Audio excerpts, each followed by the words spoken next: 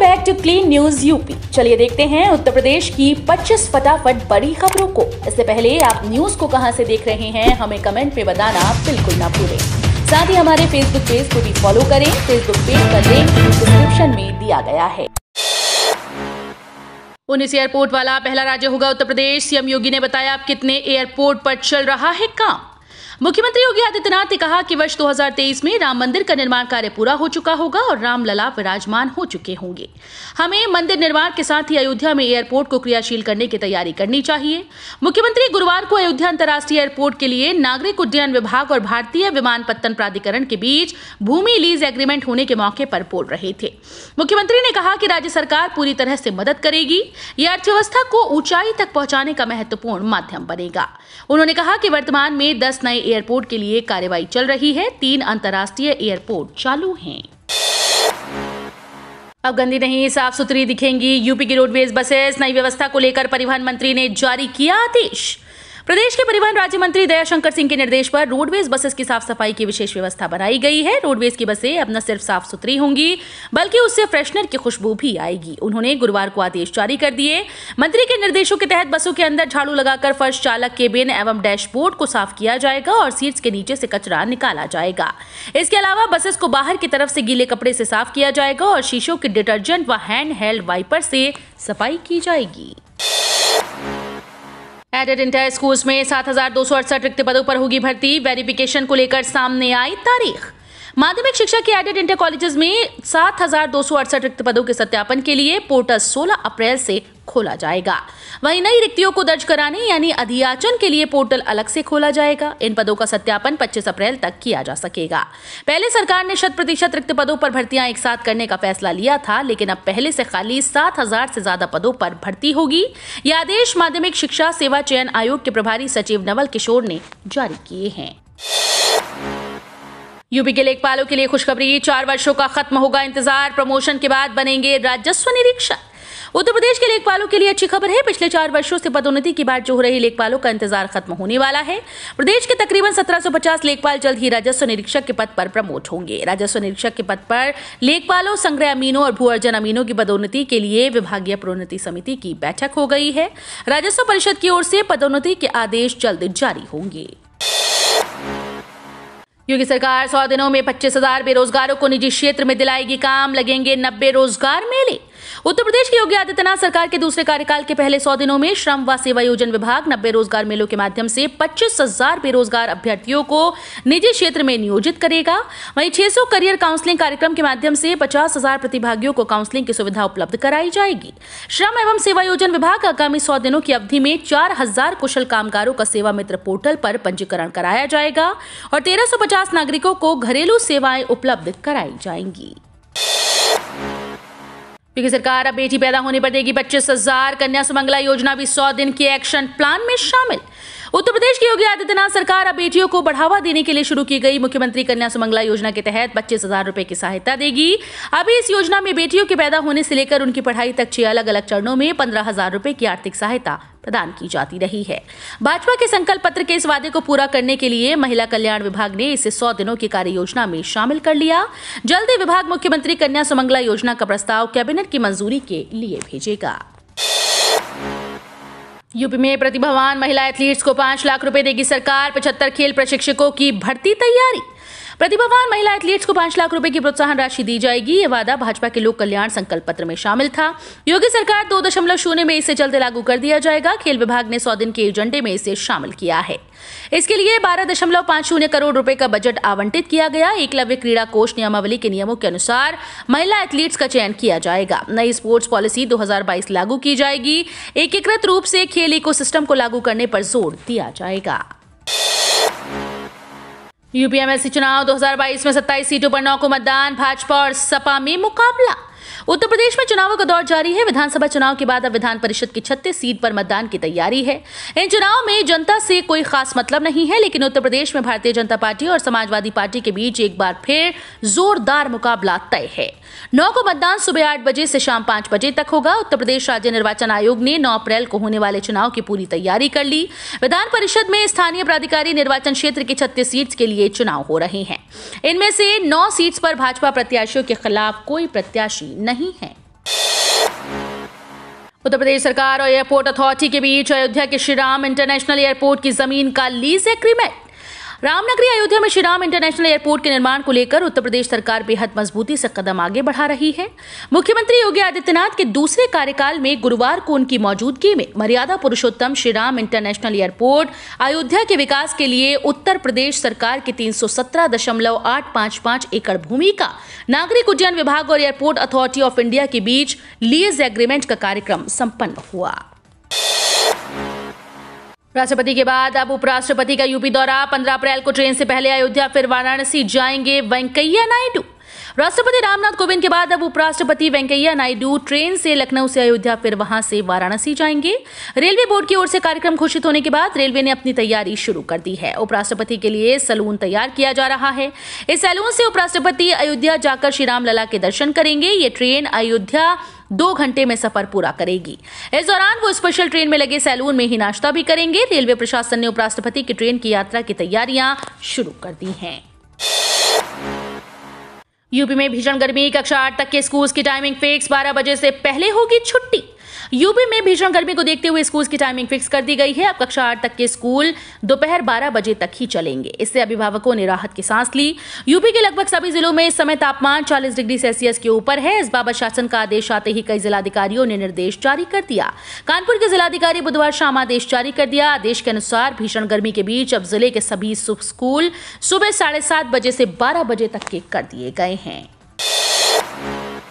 UPTET answer की हुई जा रही है। ऐसे करें, डाउनलोड 22 अप्रैल तक वेबसाइट पर रहेगी उपलब्ध।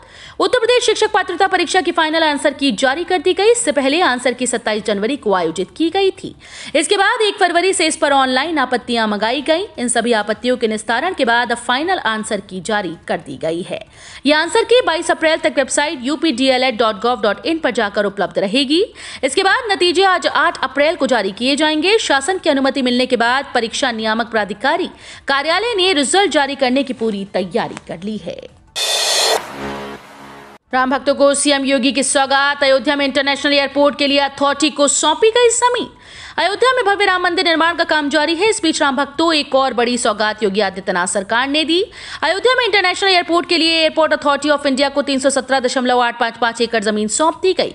इस एयरपोर्ट का नाम मर्यादा पुरुषोत्तम श्री राम इंटरनेशनल एयरपोर्ट रखा गया। राज्य सरकार ने तीन एकड़ ज़मीन इसके लिए खरीद कर लीज पर दी। इसके लिए भारतीय विमानपत्तन प्राधिकरण और नागरिक उड्डयन विभाग के बीच लीज एग्रीमेंट पर हस्ताक्षर किए गए।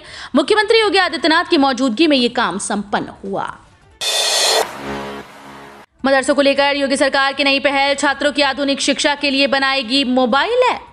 यूपी के अल्पसंख्यक कल्याण राज्य मंत्री दानिश आज़ाद अंसारी ने कहा कि मदरसों में आधुनिक शिक्षा देने के लिए मोबाइल ऐप विकसित की जाएगी और मदरसों में महापुरुषों और स्वतंत्रता संग्राम सेनानियों की जीवन गाथा पढ़ाई जाएगी। अल्पसंख्यक कल्याण राज्य मंत्री अंसारी ने बृहस्पतिवार को एक बयान में कहा कि उत्तर प्रदेश के मदरसों में शिक्षा की व्यवस्था का आधुनिकीकरण किया जाएगा और मदरसों में पढ़ाई करने वाले बच्चे राष्ट्रभक्ति से उत्प्रोत हों। इसके लिए मदरसों में महापुरुषों और स्वतंत्रता संग्राम सेनानियों की जीवन गाथा पढ़ाई जाएगी। बरसात से पहले जन आंदोलन बनाने की तैयारी में योगी सरकार जाने सीएम का प्लान यूपी सरकार ने स्वच्छता मिशन की तर्ज पर जल संरक्षण को भी जन आंदोलन बनाने की तैयारी कर ली। इस कार्य में जन सहभागिता को बढ़ाने के लिए कई अनूठे कदम उठाने जा रही हैं। मुख्यमंत्री कार्यालय की ओर से गुरुवार को जारी सूचना के अनुसार प्रदेश की योगी सरकार ने अटल भूजल योजना के तहत प्रदेश में चयनित दस जनपदों के छब्बीस विकास खंडों की पाँच ग्राम पंचायतों में बैठकें और प्रशिक्षण कार्यक्रम आयोजित करने के निर्देश जारी किए। सरकार ने एक बार फिर भूजल संरक्षण की योजनाओं को तेज़ी से प्रदेश में विस्तार देने की तैयारी की है। यूपी में राशन की दुकानों की आय बढ़ाने को बनी खास योजना, कॉमन सर्विस सेंटर के रूप में विकास होगा। खाद्य एवं रसद विभाग प्रदेश के लगभग अस्सी हज़ार उचित दर दुकानों को कॉमन सर्विस सेंटर के रूप में विकसित करेगा। इसका उद्देश्य उचित दर विक्रेताओं की आमदनी बढ़ाना है। अगले सौ दिनों के दौरान इसके कार्य योजना को मूर्त रूप देने के साथ विभाग उचित दर विक्रेताओं को इस बाबत प्रशिक्षण भी देगा। इससे जन सामान्य को सरकार की जन कल्याणकारी योजनाओं का लाभ पाने की सुविधा स्थानीय स्तर पर मिल सकेगी। इस अवधि में विभाग राष्ट्रीय खाद्य सुरक्षा अधिनियम के तहत खाद्य सुरक्षा के लाभ से वंचित, आश्रयहीनों और कचरा उठाने वाले लोगों को चिन्हित करते हुए उन्हें राशन कार्ड उपलब्ध कराया जाएगा सीमा विवादों में ज़मीन पैमाइश कराने के लिए अब एसडीएम को जाने की झंझट से मुक्ति ऑनलाइन करें आवेदन। सीमा संबंधी विवादों में ज़मीन की पैमाइश कराने के लिए लोगों को अब उप जिलाधिकारी न्यायालय जाने की ज़रूरत नहीं होगी। राजस्व विभाग ने ईज ऑफ़ लिविंग के तहत लोगों को इस झंझट से निजात दिलाते हुए ज़मीन की पैमाइश के लिए ऑनलाइन आवेदन की व्यवस्था लागू कर दी है। आयुक्त एवं सचिव राजस्व परिषद मनीषा त्रिघाटिया की ओर से सभी मंडलायुक्तों और जिलाधिकारियों को इस बारे में निर्देश जारी कर दिया गया। ज़मीन की पैमाइश के लिए अभी तक आवेदनकर्ताओं को उप जिलाधिकारी सरकारी न्यायालय में आवेदन जमा करना होता था। यूपी में महिलाओं व बच्चों पर जुल्म करने वालों की खैर नहीं। सौ दिनों में ऐसे एक हज़ार आरोपितों को सजा दिलाएगी सरकार। उत्तर प्रदेश में कानून व्यवस्था के जिस मुद्दे पर भाजपा ने लगातार दूसरी बार पूर्ण बहुमत की सरकार बनाने का कीर्तिमान स्थापित किया, उसे और मज़बूत बनाने की प्रभावी कार्य योजना बन चुकी है। महिलाओं व बच्चियों के साथ होने वाले अपराधों में और कठोर कार्यवाही मुख्यमंत्री योगी आदित्यनाथ की प्राथमिकताओं में शामिल है। यही वजह है कि राज्य में अगले सौ दिनों में महिलाओं के विरुद्ध होने वाले अपराधों व पॉक्सो एक्ट के मामले में पुलिस एक हज़ार अपराधियों को सजा दिलाकर कड़ा संदेश देगी। लखनऊ में कल से तीन दिन बंद रहेंगी शराब की दुकानें। विधान परिषद चुनाव के मद्देनजर विशेष दिशा निर्देश जारी। विधान परिषद चुनाव के मद्देनजर लखनऊ में और दो दिनों तक शराब की दुकानें बंद रहेंगी। लखनऊ उन्नाव क्षेत्र विधान परिषद सीट के लिए वोटिंग 9 अप्रैल को होगी। जिला निर्वाचन अधिकारी अभिषेक प्रकाश के मुताबिक आयोग के नियमों अनुसार मतदान के अड़तालीस घंटे पहले ही ज़िले में शराब की बिक्री पूरी तरह से प्रतिबंधित होगी। कहीं पर भी किसी तरह से शराब की बिक्री की इजाज़त नहीं होगी। निवेश परियोजना लगाने के लिए दफ्तरों में दौड़ भाग करने वालों की तादाद कम ऑनलाइन काम ज़्यादा। उत्तर प्रदेश में निवेश परियोजना लगाने के लिए सरकारी दफ्तरों में दौड़ भाग करने वालों की तादाद तेज़ी से कम हो रही है। ऑनलाइन डिजिटल सेवाओं के कारण ऐसा संभव हो पा रहा है। यही नहीं, निवेशकों की ऑनलाइन सेवाओं से संतुष्टि स्तर भी बढ़ रहा है। राज्य में निवेश करने वाले उद्यमी मानते हैं कि पहले जहाँ विभिन्न प्रकार के लाइसेंस व अनापत्ति प्रमाण पत्र के लिए काफ़ी चक्कर काटने पड़ते थे, अब ऑनलाइन काम होने से समय बचता है। साथ ही इधर उधर भटकना नहीं पड़ता। एक औद्योगिक क्षेत्रों वाले उत्तर प्रदेश औद्योगिक विकास प्राधिकरण के तहत साल दो हज़ार में प्रोजेक्ट लगाने के लिए सरकारी कार्यालयों में दौड़ भाग करने वालों की तादाद बावन प्रतिशत थी। किन्नरों को लेकर अहम फैसला लेने जा रहा है किन्नर बोर्ड। यूपी में नवगठित किन्नर कल्याण बोर्ड जल्द बैठक होगी। बैठक में किन्नरों के कल्याण के लिए अहम निर्णय किए जाएँगे। जिलेवार किन्नरों की गणना इनके रिहायशी इलाकों में बुनियादी सुविधाओं का विकास, स्किल डेवलपमेंट आदि के बाबत कदम उठाए जाएँगे। यह आश्वासन भागीदारी भवन में किन्नर कल्याण बोर्ड के चेयरमैन व सदस्यों के साथ हुई अनौपचारिक बैठक में समाज कल्याण राज्य मंत्री स्वतंत्र प्रभार असीम अरुण ने दिया।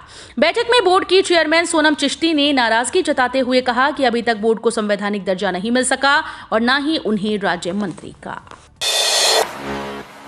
राकेश कहते हैं, केंद्र को फिर आंदोलन की दी चेतावनी। बोले, चुनाव खत्म होते किसानों से किए वादे भूल गई सरकार।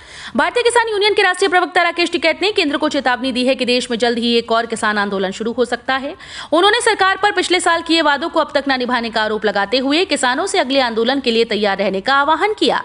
टिकैत ने कहा, अभी हमने आंदोलन की कोई तारीख तय नहीं की, लेकिन हम जल्द ही इसे शुरू करने के लिए पूरी तरह से तैयार हैं। तीन विवादित कृषि कानून वापस लेने के साथ ही किसानों ने सरकार से कई और मांगे की थी, जिनमें न्यूनतम समर्थन मूल्य पर कानून बनाने की मांग भी की गई थी।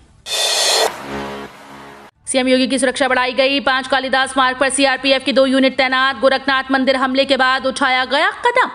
गोरखनाथ मंदिर में तैनात पीएससी जवानों पर हमले के बाद मुख्यमंत्री योगी आदित्यनाथ की सुरक्षा बढ़ा दी गई। लखनऊ के पाँच कालिदास मार्ग स्थित मुख्यमंत्री आवास पर सीआरपीएफ की दो यूनिट्स तैनात की गई हैं। मीडिया रिपोर्ट्स के मुताबिक गोरखनाथ मंदिर की भी सुरक्षा व्यवस्था की नए सिरे से समीक्षा की गई। गोरखपुर से लखनऊ तक मुख्यमंत्री की सुरक्षा बढ़ा दी गई। पाँच कालिदास मार्ग पर सुरक्षा की कमान पुलिस के साथ साथ अब सीआरपीएफ के हाथों में होगी। हर आने जाने वाले से पूछताछ की जाएगी। पूरी जानकारी और तस्दीक के बाद ही किसी को एंट्री मिलेगी। गोरखपुर में मुर्तजा के आतंक के बाद नेपाल सीमा पर मिले दो संदिग्ध पाक कनेक्शन खंगालने में जुटी एजेंसीज गोरखनाथ मंदिर में तैनात पीएससी जवानों पर हमला कर आतंक फैलाने वाले मुर्तजा के टेरर कनेक्शन की तहकीकात अभी जारी है। इस बीच गोरखपुर से करीब 100 किलोमीटर की दूरी पर भारत नेपाल सीमा के पास स्थित गेस्ट हाउस से फर्जी आईडी और अन्य दस्तावेजों के साथ दो संदिग्ध पकड़े गए। पुलिस और खुफिया एजेंसी दोनों से पूछताछ कर रही है। बताया जा रहा है की दोनों के पास से वाराणसी के नंबर की एक एसयूवी गाड़ी और एयर गन भी मिली है। महाराजगंज के एसपी प्रदीप गुप्ता ने बताया कि मामले में पूछताछ चल रही है। बता दें कि गोरखनाथ मंदिर हमले के मामले में भारत नेपाल सीमा पर खासतौर पर अलर्ट जारी किया गया है। गरीब बेटी की शादी के लिए अब एक लाख रुपए देगी योगी सरकार। अल्पसंख्यक और पिछड़े वर्ग के लिए भी नए प्रावधान। योगी सरकार अब मुख्यमंत्री सामूहिक विवाह योजना में गरीब बेटी के विवाह पर इक्यावन हज़ार रुपए के बजाय एक लाख रुपए खर्च करेगी। इस श्रेणी के तहत सभी वर्गों और समुदायों के गरीबों की रेखा के नीचे जीवन यापन करने वाले परिवारों की बेटियों के सामूहिक विवाह आयोजित करवाए जाते हैं। समाज कल्याण विभाग ने इस योजना को सौ दिनों की कार्य योजना में शामिल कर अनुदान राशि बढ़ाने का प्रस्ताव तैयार किया। अल्पसंख्यक कल्याण विभाग ने भी गरीब बेटियों की शादी की अनुदान राशि बीस हज़ार से बढ़ाकर पचास हज़ार किए जाने का प्रस्ताव तैयार किया है। तो ये थी आज की 25 फटाफट बड़ी खबरें। अगर आपको न्यूज़ पसंद आई हो तो वीडियो को लाइक और शेयर ज़रूर करें। धन्यवाद।